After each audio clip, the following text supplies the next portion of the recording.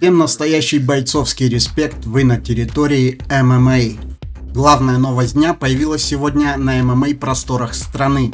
Тамир Исмагулов против Армана Царукяна на турнире в Лас-Вегасе в ночь на 18 декабря.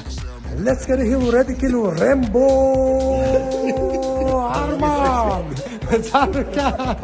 Для фанатов, которые глубоко погружены в процесс, такая информация вызвала легкий диссонанс.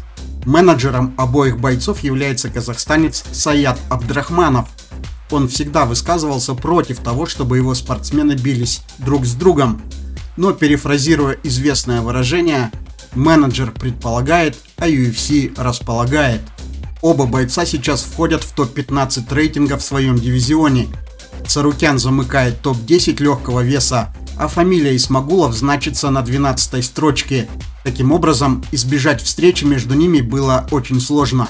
Здесь нужно принимать во внимание готовность других бойцов, планы организации и не забывать, что медийные персоны дивизиона не готовы на закате карьеры драться против таких соперников, как Арман и Дамир.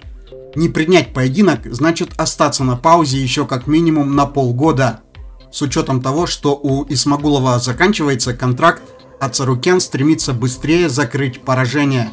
Почему Дамиру важно скорее выполнить контракт? На горизонте гран-при в лигах ПФЛ и Белатор, а там готовы платить гораздо большие гонорары.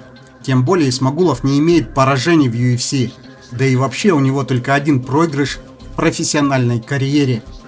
Такой актив интересен каждому толковому менеджеру и матчмейкеру. Кроме того, есть лига One Championship – при таких раскладах уже и руководство UFC вынуждено будет думать о том, чтобы предложить Исмагулову более серьезный контракт, и это обосновано. Теперь о самом поединке. Как сказал нашему каналу менеджер бойцов Саят Абдрахманов, в топ-15 уже нет неопасных боев. Любой поединок с соперником из этого списка будет сложным. Поэтому бой для Исмагулова и Царукяна на бумаге выглядит очень интересным и трудным а о его важности говорить даже не стоит. Также я решил узнать мнение о предстоящем противостоянии у тренера команды Орлана ММА Про Тим Игоря Фунтикова, который долгое время работал с Дамиром. Вот что он сказал. У Армана хорошая борьба. В последнее время он хорошо прибавил в ударной технике. На таком высоком уровне вряд ли стоит ожидать встречи с простыми соперниками, поэтому нужно хорошо готовиться и постараться в бою реализовать свои сильные стороны пока UFC официально не анонсировали этот поединок, но скорее всего это просто дело времени. Ай, все, ой, какой бомбовый прогноз. На этом разрешите закончить. Напишите в комментариях, хотели бы увидеть подробный разбор предстоящего поединка. Поддержите канал лайком и подпиской. Это будет ваша чемпионская оценка за мой труд.